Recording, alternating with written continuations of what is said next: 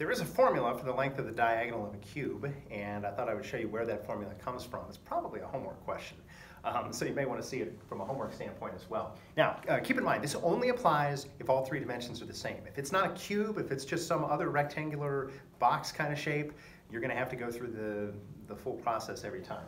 Um, anyway, uh, so this is an x by x by x. I've done this with variables. This is technically an algebraic proof. We're using variables here to, to prove the formula.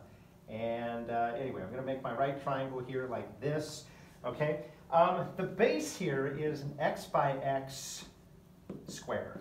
Okay. That's a 45, 45, 90 triangle, right? Because we've got two equal side lengths. Uh, we know that you multiply the side lengths by radical 2 to get the length of the hypotenuse. So that is x radical 2 there. Uh, this side is x, meaning that side is also going to be x. All right?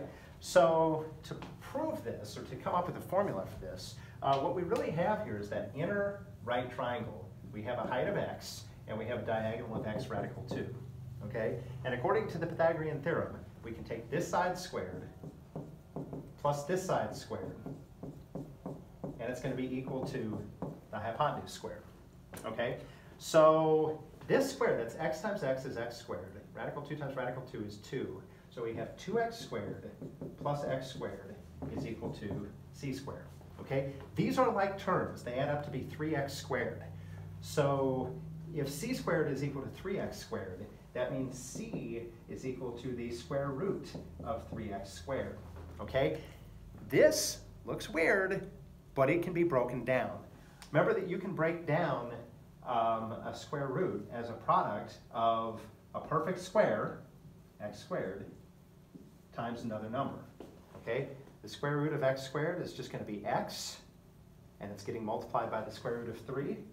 So it tells us anytime you have three equal sides on a cube, three equal dimensions, which makes it a cube, it's an x by x by x, you can always multiply the side lengths of a cube by radical 3 to get the length of the diagonal.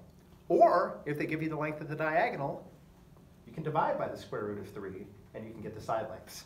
So if I had side lengths of 4, 4, and 4, this would be a 4 radical 3. 5, 5, and 5, diagonal would be a 5 radical 3. If I told you this was an 8 radical 3, you would know that it was an 8 by 8 by 8 shape.